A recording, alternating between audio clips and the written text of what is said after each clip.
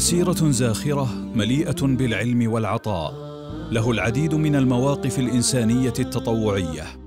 إعلامي وكاتب صحفي وأستاذ جامعي ومدير للقناة الأولى السعودية سابقاً. وكيل لوزارة الإعلام لشؤون التلفزيون.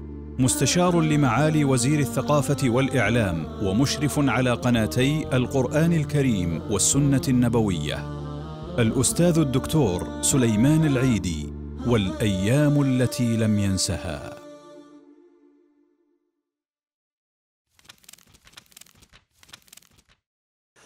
آه، أنا سعيد الحقيقة أن أكون معك في برنامج ينقل آه، صور من ذلك اليوم الذي عشناه طيلة مراحل حياتنا. فأرجو من المشاهد أن يعني يتحمل آه، ثقافة المذيع ويتحمل يعني ثرثرة المذيعين كثيرا.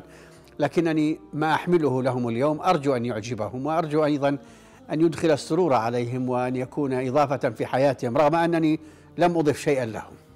آه، في ذلك اليوم وأثناء قراءة نشرات الأخبار قبل طبعا نشرات الأخبار في في قبل عام 1410 لم يكن هناك الحقيقة توقيت رسمي لنشرات الأخبار.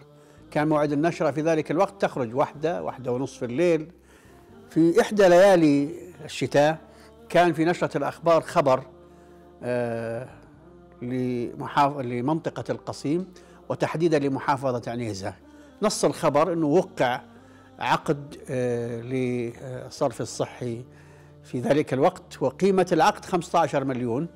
في قراءتي أنا أمام المشاهدين قرأته ب 15 ألف مليون ريال.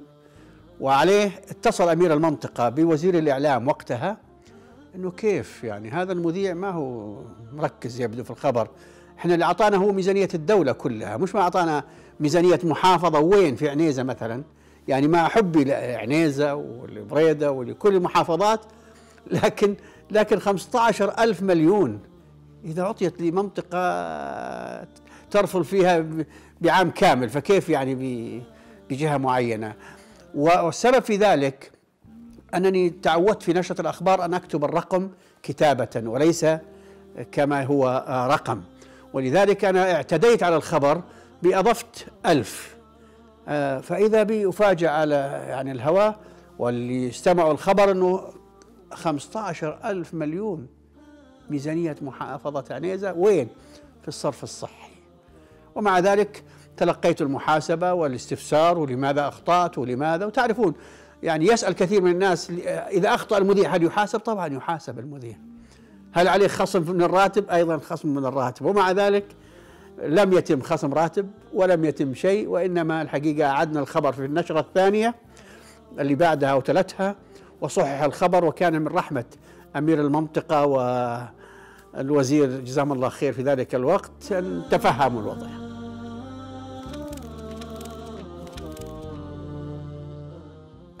في ذاك اليوم كنت في زيارة إلى آه، محافظة رفحة.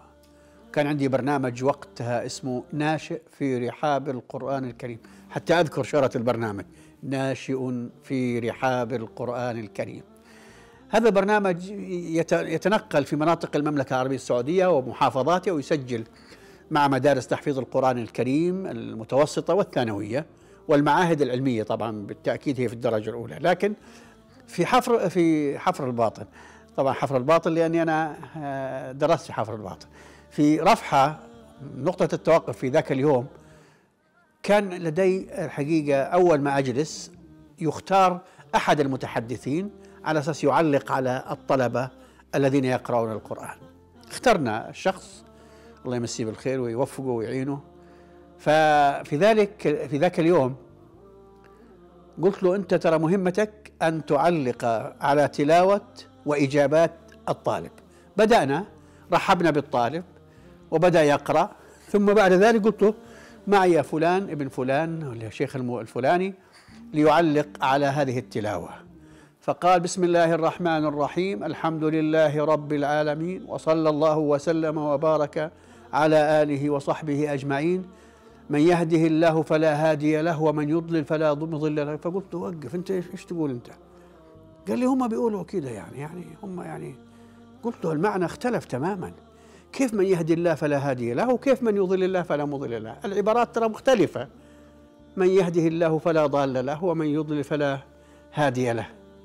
قال لي آه طيب نعيد التسجيل. وأنا أقول له نعيد التسجيل ما في مشكل. فقال لي هو خطأ لسان.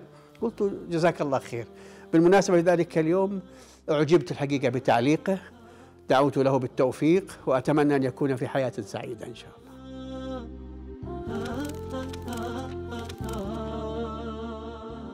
في ذاك اليوم آه، طبعا مسابقة الملك عبد العزيز كم هي اسمها؟ المسابقة الدولية للقرآن الكريم وقتها. ثم غير الاسم إلى مسابقة الملك عبد العزيز في مكة المكرمة. في ذاك اليوم الحقيقة يوم بالنسبة لي تمنيت أنه ما كان آه، طبعا نحن نقدم رسالة تلفزيونية يومية عن الفائزين. وفي آخر يوم سيحضر أمير المنطقة ووزير الحج والأوقاف وقتها آه، الله يمسيه بالخير يرحمه عبد الوهاب عبد الواسع وأمير المنطقة الأمير ماجد بن عبد العزيز. فاليوم اللي كان في حفل الاختتام قدمت في الرسالة تسجيل على أساس نبثه اليوم التالي. فأعلنت الفائزين قبل إعلانه في في الحفل وقبل إعلانه في أمام أمير المنطقة وامام آه، وزير الحج والأوقاف الله يرحمه عبد الوهاب عبد الواسع وهو في بيته يسمع أسماء الفائزين بجائزة القرآن الكريم الدولية في مكة المكرمة الفائز الأول فلان ابن فلان الفائز الثاني الفائز قال سليمان العيدي هذا أصبح وصي علينا وأعلن عنه وأنا لابس بدي أروح أوزع الجوائز مع أمير المنطقة فكيف يحصل هذا؟ كيف يحصل هذا؟ ذاك اليوم ما ينسى ابدا. ففعلا يعني وصل الوزير واعتذرت منه وقلت إنه حتى بس تكون المادة التلفزيونية جاهزة حاولنا أن نسبقكم لأنها ستكون يوم الغد لكن إن شاء الله وما يعني قدر وقع الحمد لله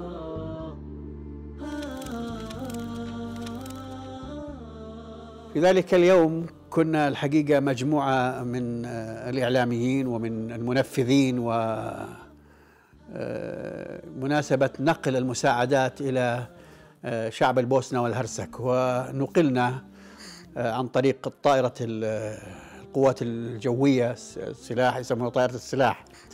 آه، الدكتور عبد الله العبيد آه، وفقه الله الدكتور عبد الرحمن السويلم مجموعة من الأطباء مجموعة من الإعلاميين.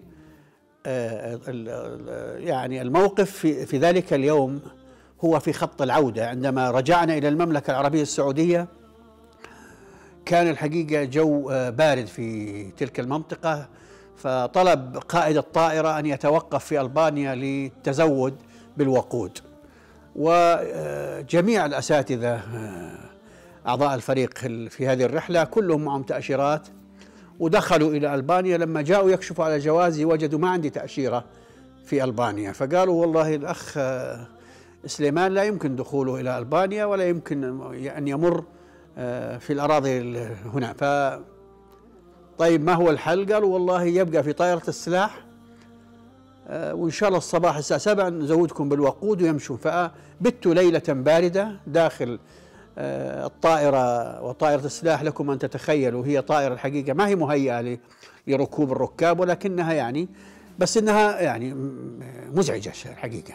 ثم بقيت ليلتها حتى الساعة الخامسة والسادسة صباحا تطل من النوافذ ما تشاهد إلا صورة أنوار قليلة جدا ونباح الكلاب أعزكم الله و فليلة لا تنسى في حياتي في ذلك اليوم. هذه القصة الحقيقة من آه، ما سجلته في ملفات حياتي في رحلاتي خارج المملكة وفي أيضا التغطيات التلفزيونية التي كنا نقوم بها.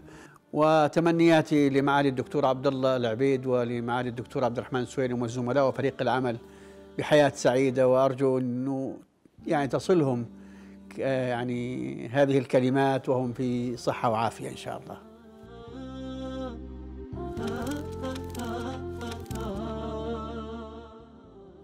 في ذلك اليوم يعني طبعا أيام المسابقات القرآنية الحقيقة أيام كثيرة جدا ليست محددة بيوم ومواقفها أصلا كثيرة جدا. يعني رحابة الناس معك في الاستوديو أنت على الهواء. طبعا المسابقات القرآنية كانت تسجل تسجيل وكنا أيضا على تواصل مع المشاهدين من خلال الرسائل. لكن بعد ما أصبح البرنامج مباشر أصبحت الطرائف كثيرة. لدي أكثر من موقف لكن في ذلك اليوم اللي هو التاسع والعشرين من شهر رمضان في إحدى ليالي آه، آخر رمضان كان اليوم التالي عيد بعد ما أعلن العيد. فجئنا إلى المشاهدين وقدمنا الحلقة الأخيرة. طبعا أنا اسمي سليمان العيدي وبكرة عيد. آخر متصل قال لي يا أخي سليمان أنت قلت أنت ما جاوبت يا أخي. قال لي أعطني سؤال ثاني قلت له موعد نشرة الأخبار أزف الساعة التاسعة ونصف قال لي يا أخي أنت عيدي. وبكرة عيد. خليني أتعيد مع الناس يا أخي. فقلت الجائزة لفائزنا من عرعر في ذلك الوقت أذكر ذلك بالتحديد. آه، مقدارها ألف ريال. ومبروك عليك الجائزة. مبروك أن يوم غد هو يوم العيد.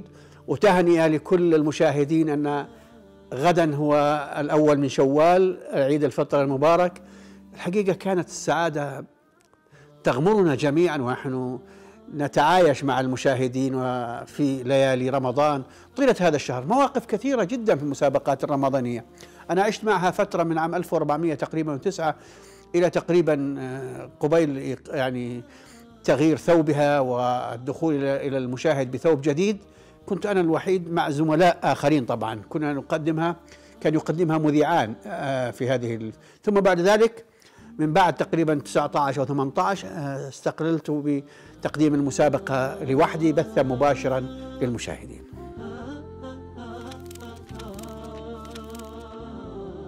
آه، ذاك اليوم يعني أحد الأبناء والبنات في المنزل قالوا لماذا ما يعني ما تكون لك يعني حساب في تويتر؟ فقلت لهم أنا معروف في المجتمع فالذين دخلوا التويتر هو من أجل أن يعرفوا. وأن يكون لهم موقع وأن يكون لهم حساب وأن يتصل عليهم وأن يعلق عليهم و... أنا هذه الأشياء أشبعت فيها ولله الحمد؟ طيلة 38 سنة. لكن في ذلك اليوم يعني كأن الأهل آه، وقعت في فخهم فبدأنا في حساب تويتر. ومع ذلك عاهدت نفسي في ذلك يعني أنه لا أرد على أحد ولا أضيف أحد ولا أتحدث مع أحد ليس كبرا ولكن أعرف أن هذه الشبكة شبكة التويتر أو الموقع هو ميدان اللي يدخله الله يعينه. فيوم من الأيام في ذاك اليوم وجدت رسالة مزعجة شوي. أنا علي يعني عهد أنه ما أرد على أحد. ومع ذلك وقفت ماذا أكتب؟ فتذكرت آية قرآنية جميلة كل القرآن جميل. قل موتوا بغيظكم إن الله مخرج ما كنتم تكتمون. اللي بيقراها بيفهم وحتى تكون أيضا في نسق أنا ما أكتبه في التويتر أنا لا أكتب إلا يعني مواقف يعني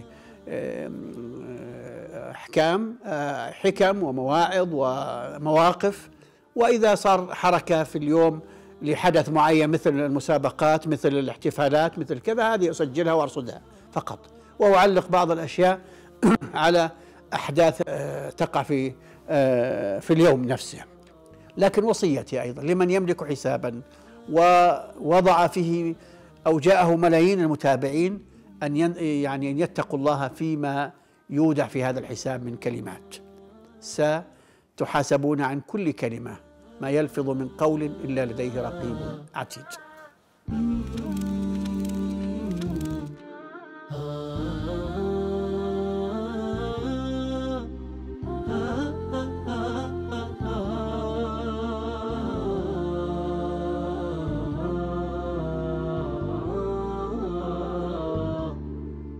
جئت إليكم اليوم لأتحدث عبر ذاك اليوم لكن كلماتي قد لا تعبر عما في نفسي ومن هنا أوجز لكم حديثي بكلمات قصيرة. أنت من تصنع نفسك بجهدك وعرقك وصبرك ولا تقف لتلتفت يمينا وشمالا فيمضي القطار. أعني قطار الحياة دون أن تصنع بصمة. سليمان ابن محمد العيدي.